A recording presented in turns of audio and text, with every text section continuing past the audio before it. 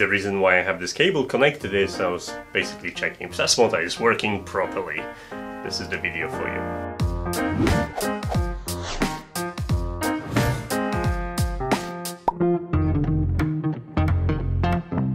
Hey guys, a couple of weeks ago I talked about this. This is Sonoff Mini R4, one of the first devices from the Extreme series that I covered in this video and that was all about eWeLink app because, well let's face it, I was one of the first people to get my hands on it and up until today you were not able to buy one.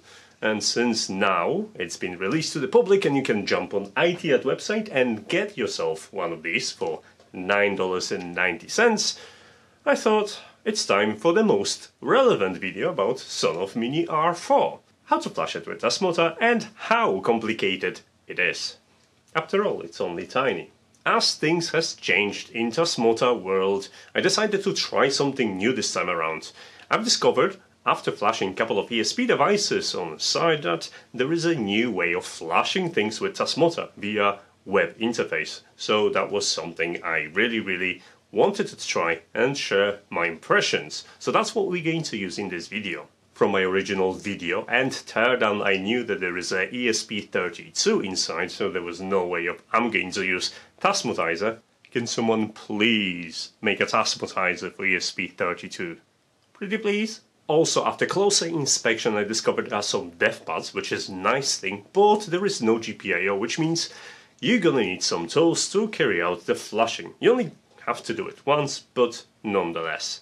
Speaking of tools, this is where I have perfect opportunity to show a little bit, because it's gonna be for your and my benefit, of course. So, there's a couple of tools you need.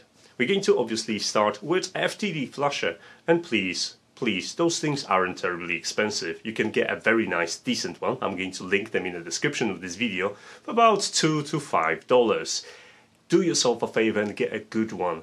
Because my number one email inquiry about, well, inability to flash something with Tasmota is usually resolved by using a really good FTD serial adapter. And if you think I was done shilling, you're gonna need one of these. Not this particular, but I would strongly um, I encourage you to get uh, TS101 uh, soldering iron, which is here. But any soldering iron will do, as long as you can actually have a tip small enough to reach to the dev pads. They're only tiny. So if you're planning on dabbling in electronics now and then, that's gonna be one of the best investments.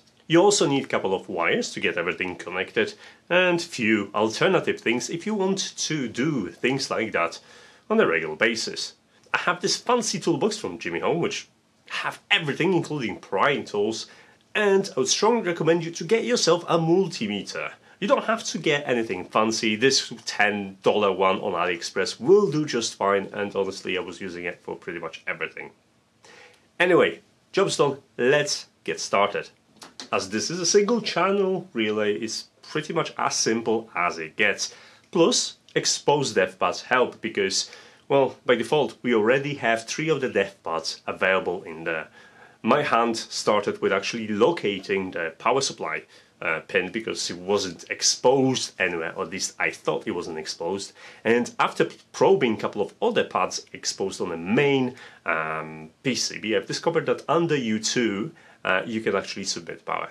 And how did I discover that, you may ask? Well, I did download the datasheet for ESP32-D0WD-V3, which is the ESP inside this, and I traced the VDD pin from the datasheet to that U2 dev pad using continuity uh, meter mode on my multimeter. You see, I told you it's going to be useful. I already suspect that the GPIO is connected to the button as with most of some of the devices, so all I have to do is just press it down when powering the device to get it into boot mode so you can start flashing. So what's left to do really is start soldering. Those dev pads are tiny, so it took me a couple of attempts to actually do it right. Keep the temperature of your soldering iron between 300 and 330 and you'll be just fine. Once the cables are sorted to the TX, RX, ground and U2, make sure that your FTD flasher is set to 3.3 volt. 5 volts can actually kill your ESP, so, so bear that in mind.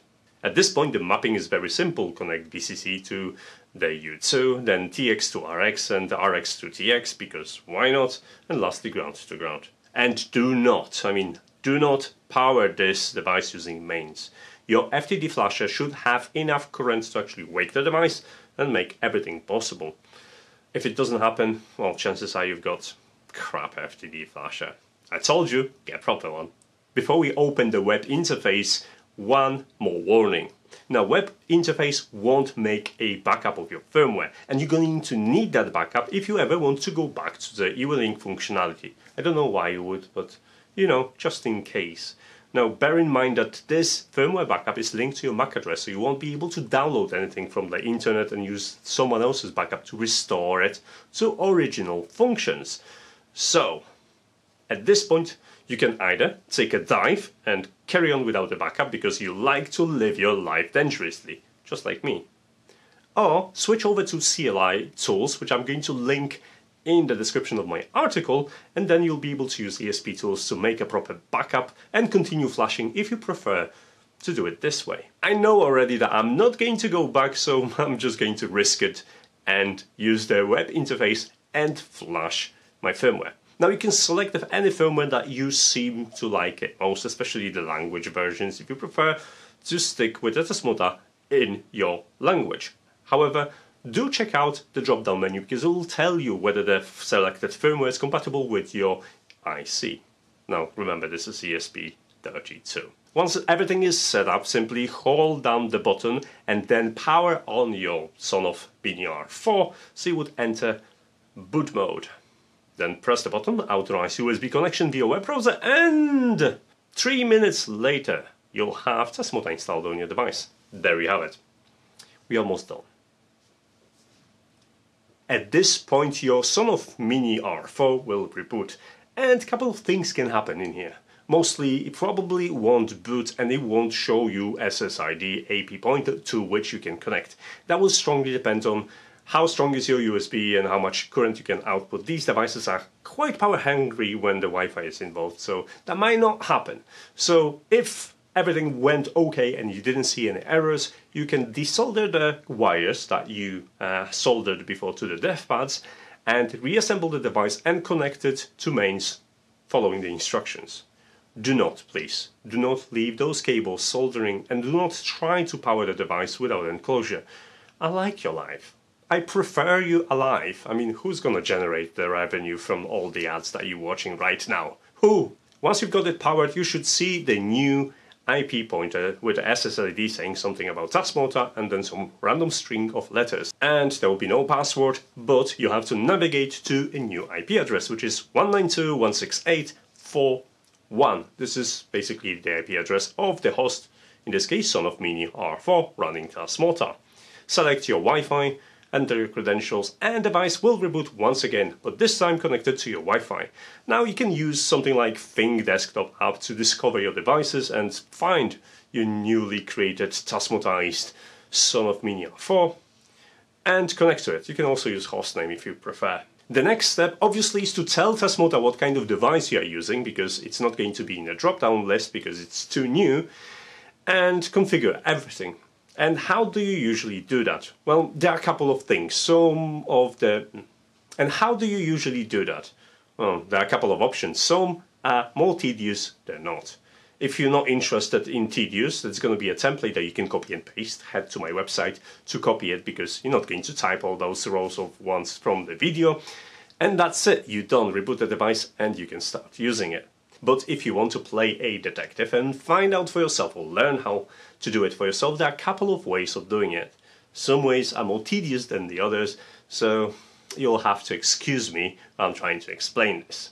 I usually start with a datasheet and make a list of all the GPIOs that are marked as GPIOs because they are more likely to be selected for controlling devices or acting as an input. Over the time I flashed so many different Sonoff devices I kind of know what are the ranges of pins that they use for what. It's kind of a standard, they probably have it as well. So it's easier for me than it's gonna be for you.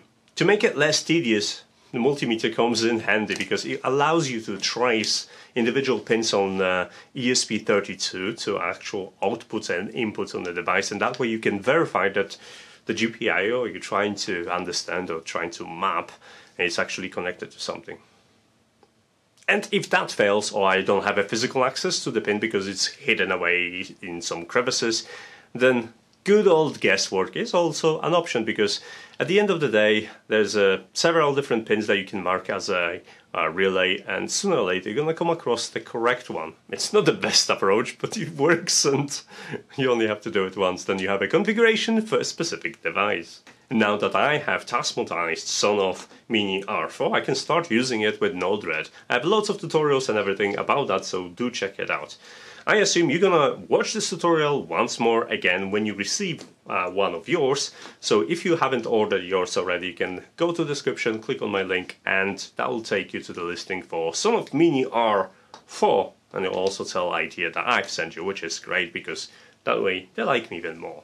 Right, that's pretty much everything I've got for today, but if you want to know what next, I have this little Raspberry Pi case which probably you want to know more about and this little screen that I'm also going to talk about very soon.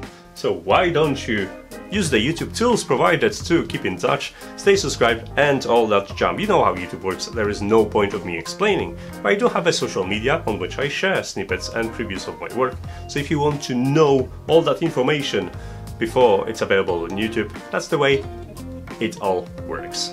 See you there, start a conversation, say hi, and I'll see you in the next video. Thanks so much for watching. Bye!